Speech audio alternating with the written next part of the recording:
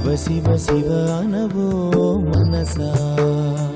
శ్రీ శివనామమే జగద్రక్ష. శివ శివ శివానవో మనసా. శ్రీ శివనామమే జగద్రక్ష. కార్తీక మాస వైభవం ఎక్కడుంది? ఆశ్వీజ మాసపు చిట్ట చివరి తిథిలో ఉంది. ఆశ్వీజ మాసంలో వచ్చేటటువంటి చిట్ట చివరి తిథి ఏది? ఆ తిథి అమావాస్య. అమావాస్య ఎప్పుడు వచ్చినా పితృ సంబంధమైనటువంటి తిథి దేవతా సంబంధమైన తిథిగా మనం చెప్పం దాన్ని. పైగా ఒక్క దీపావళి అమావాస్యకే వేదాంతంలో ఒక పేరుంది ప్రేత అమావాస్య అని పేరు దానికి. ఎందుచేత? ప్రదోషకాలంలో పితృదేవతలందరూ వస్తారు. ప్రతి అమావాస్యకి మధ్యాహ్నం పన్నెండు గంటలకు వస్తారు. తనకి వారసులు ఎవరో వారింటి ముందుకు వస్తారు మా నాన్నగారు మా అమ్మగారు అమావాస్య మధ్యాహ్నం పన్నెండు గంటలకి నా ఇంటి ముందుకు వస్తారు. నేను తర్పణ ఇవ్వాలి. నేను స్వయం పాకం ఇవ్వాలి. నేను ఆ రోజున ఏమీ చెయ్యలేకపోతే ఎక్కడున్నానో అక్కడే పన్నెండు గంటలకి చెప్పులు విప్పి రెండు చేతులు ఇలా మూడు మాటలు ఊపమని చెప్పింది. నాన్నగారు నేను ఇవాళ మీకేం చెయ్యట్లేదు. నన్ను మన్నించండి అని చెప్పాలి. అమావాస్య మధ్యాహ్నం పన్నెండు గంటలకి ప్రధానమైతే ఆశ్వీజ మాసంలో వచ్చేటటువంటి అమావాస్యని ప్రేత అమావాస్య అన్నారు. కారణం? పితృదేవతలందరూ వస్తారు ప్రదోష వేళలో. వచ్చి వాళ్ళు ఆకాశ మార్గంలో నిలబడతారు. ఎందుకు నిలబడతారు? అంటే ఒరే ఇంత గొప్ప కాలం సంప్రాప్తమైందిరా. గతంలో చేసుకున్న పాపాలున్నాయి. అదిగో మా వాడు దుఃఖంతో ఉన్నాడు కష్టంలో ఉన్నాడు దరిద్రంలో ఉన్నాడు బాధల్లో ఉన్నాడు ఉపయోగించుకుంటున్నాడా ఈ తిథిని చూడ్డానికి వస్తారు.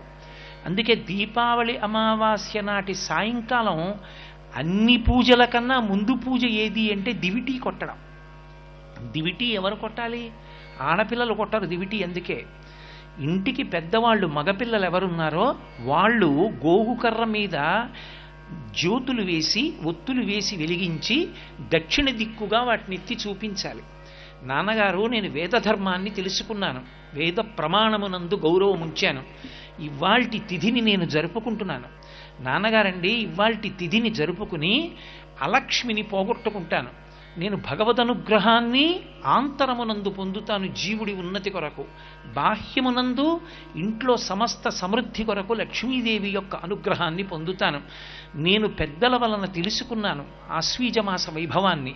కాబట్టి నేను దీన్ని పాటిస్తాను నాన్నగారు మీరు బయలుదేరండి బాగా చీకటిగా ఉంది. కాబట్టి మీకు నేను వెలుతురు చూపిస్తున్నాను. కొడుకు ధర్మోదకం ఇస్తాడు. దీపావళ అమావాస్య నాడు దివిటి చూపిస్తాడు. నాన్నగారు చీకటిగా ఉంది అసలే దక్షిణాయనం.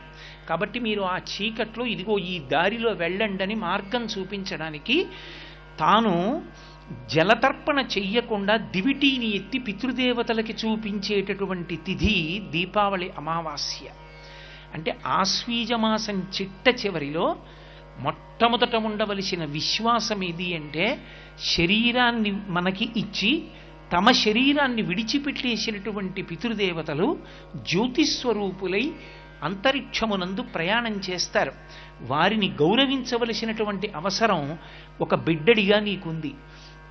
ఇప్పుడు వాళ్ళకి ఆ దివిటి చూపించావు అంటే అర్థం ఏమిటి?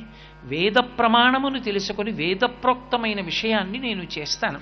ఆశ్వీచ కార్తీక మాసములు ఉన్నటువంటి శరదృతువు ఈ రెండు ఋతువుల యందు యమధర్మరాజు గారి యొక్క దంస్ట్ర బయటికి వస్తుంది.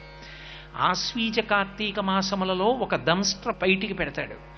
పెట్టి కార్తీక మాసం చిట్ట చివర్లో వెనక్కి తీసుకుంటాడు.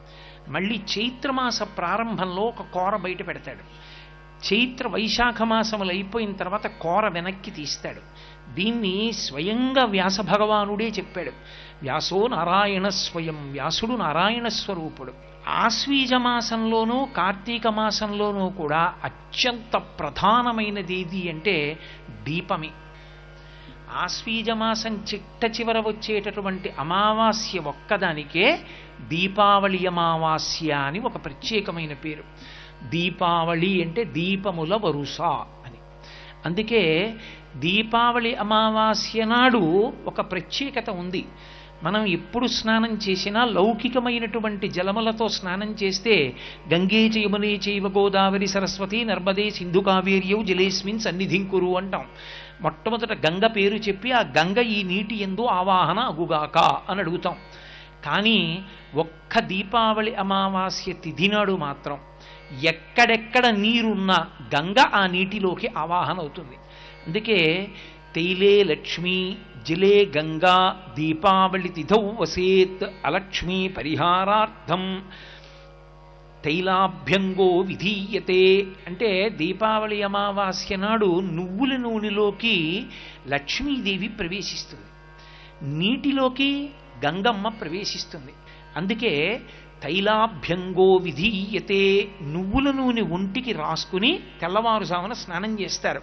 దీనికి ఆ నూనె శరీరానికి తగిలితే అలక్ష్మీ పరిహారార్థం లక్ష్మీ స్పర్శ చేత అలక్ష్మి పోతుంది. ఇక గంగా స్నానం చేత పాపరాశి ధ్వంసం అవుతుంది. భవాంగపతితంతో యం పవిత్రమితి వస్పృశు అంటారు వాల్మీకి మహర్షి రామాయణం బాలకాండలో.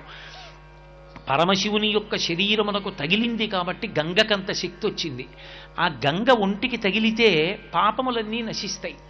అటువంటి గంగ మనం వెళ్ళి స్నానం చెయ్యవలసిన అవసరం లేకుండా గంగయే నీటిని ఆవహిస్తుంది దీపావళి అమావాస్య నాడు. అందుకని అభ్యంగనం చెయ్యాలంటే నూనెని ఒంటికి రాసుకుని తలమించి నీళ్ళు పోసుకోవాలి. ఇక రెండవది ఆ రోజున తప్పకుండా దీపావళి దీపముల వరుస పేరుస్తారు. దీపములను పేర్చి ఆ దీపముల యొక్క కాంతిలో అలక్ష్మిని తొలగొడతారు ఆ అలక్ష్మిని దూరంగా పంపించడం కోసం మేం వేద ప్రమాణాన్ని స్వీకరించి ఇవాళ తైలాభ్యంగనం చేసి దీపముల వరుస పెట్టి మేము లక్ష్మిని ఆవాహన చేసి ఆంతరమునందు జీవుడికి ఉన్నతిని బాహ్యమునందు లక్ష్మి యొక్క అనుగ్రహాన్ని పొందుతున్నాం అని చెప్పడానికి అలక్ష్మిని పోగొట్టుకోవడానికి పెద్ద పెద్ద చప్పుళ్ళు చేస్తూ వెలుతురుతో కూడినటువంటి వివిధ రకములైనటువంటి బాణసంచ కాలుస్తారు. దేనికి కాలుస్తారు అంటే అలక్ష్మి పరిహారార్థం అలక్ష్మిని తొలగొట్టడానికి లక్ష్మిని నిలబెట్టుకోవడానికి చేస్తారు. పితృదేవతలకి మార్గం చూపించి ఇంట్లోకి వెళ్ళి కాళ్ళు చేతులు కడుక్కుని కళ్ళు కడుక్కుని ఆచమనం చేసి అప్పుడు లక్ష్మీ పూజ చేస్తారు. లక్ష్మీ పూజ చేసి ఇల్లంతా దీపముల వరుస పెడతారు. అలక్ష్మి పోవాలి అంటే అలక్ష్మి పోయి దుఃఖమునకు కారణము శమించాలి అంటే పాపం పోవాలి. పాపాన్ని పోగొట్టగలిగినటువంటి శక్తి అపమృత్యువుని పోగొట్టగలిగిన శక్తి. ఎందుకని? యమదంస్త్ర బయటికి వచ్చింది ఆశ్వీజ కార్తీక మాసాల్లో. ప్రత్యేకించి అమావాస్య పితృతిథి ప్రేతతిథి.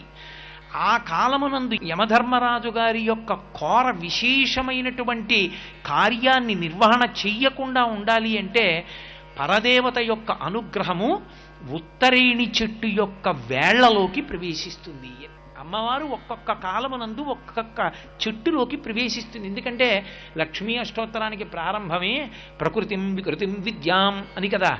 ఆవిడ పేరే ప్రకృతి ప్రకృతి స్వరూపిణి ఆవిడ. ఆమె మనకి ఉపద్రవం ప్రకృతిలోంచి వస్తుంది. మనకి రక్షణ ప్రకృతిలోంచే వస్తుంది. దీపావళి అమావాస్య నాడు ఉదయం అపమృత్యు భయం లేకుండా ఉండడానికి ప్రమాదములు జరిగి శరీరం పడిపోకుండా ఉండడం కోసమని మట్టి పెళ్ళలతో కూడుకున్నటువంటి ఉత్తరేణి చెట్టు తీసుకొస్తారు. తీసుకొచ్చి ఇంట్లో పెట్టి స్నానం చేసేటప్పుడు సంకల్పం చెప్పి తలమించి నీళ్ళు పోసుకుని తైలాభ్యంగనం చేసుకుని నీళ్ళు పోసుకుని ఆ ఉత్తరేణి చెట్టు చేత్తో పట్టుకుంటారు. ఆ మట్టి మీద పడేటట్టుగా తిప్పుకోవాలి. తిప్పుకుంటూ చెప్తారు. ఒక శ్లోకాన్ని మంత్ర రూపంలో చెప్తారు.